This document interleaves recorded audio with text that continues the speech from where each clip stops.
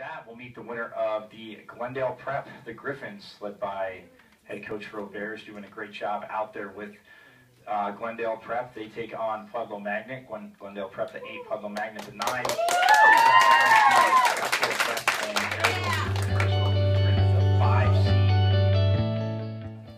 We had a great season this year. We had a record of 15 and 2, and it's an amazing feeling to know that we have this opportunity to go to state.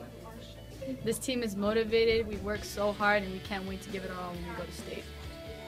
I've been in this program for the last four years, so it's exciting to reward our coach with the state playoffs because he's not only our coach but our friend. Girls volleyball hasn't made it to state in a very long time, and we're very honored to have the opportunity to represent Pueblo at the state level.